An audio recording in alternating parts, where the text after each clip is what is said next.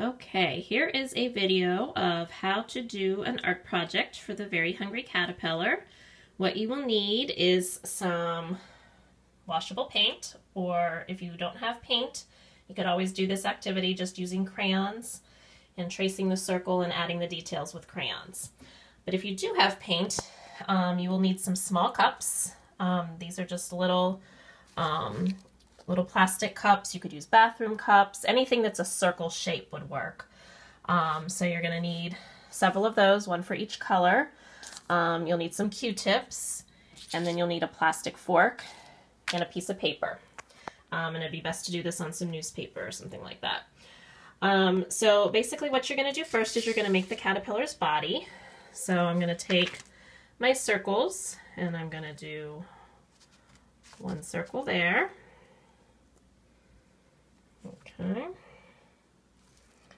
Two.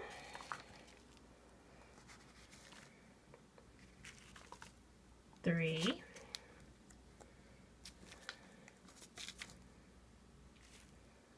Four. Okay, there's my caterpillar's body. Um, then I'm going to take the Q-tips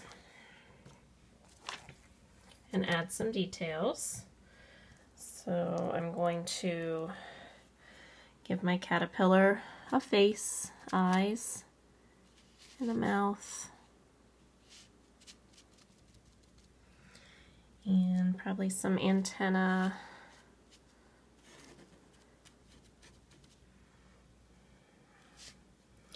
And then I'm going to give him some legs. I'll dip that in there.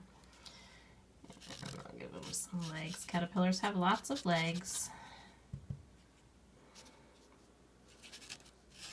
You can give them as many as you want. I'm going to mix it up and use different colors for mine, match the color of the circle, but you can do yours however you want.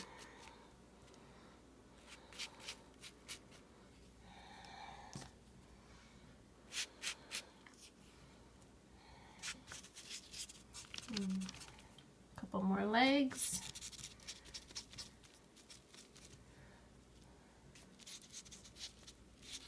Okay, and then I am going to use my fork.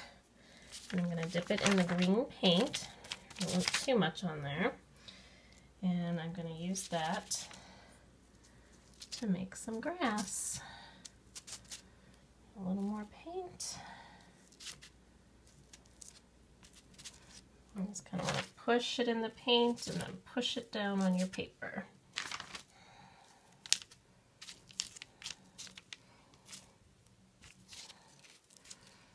Okay, like that. And then if you want to add any more details to your picture, maybe you could add a sun in the sky.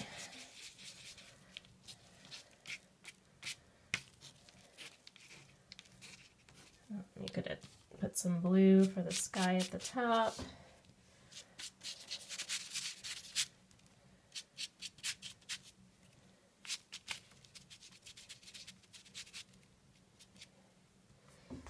Okay, and there is my very hungry caterpillar. Um, so you can make yours look however you want. It does not have to look like mine, but that's just an idea of something that you can do for a fun art project and I would love to see what you make um, on Friday when we have our Zoom call. So if you're able to make one, whether it's with paint or with crayons or however else you choose, um, I'd love for you to share them with us. So I hope you have fun with this. Bye-bye.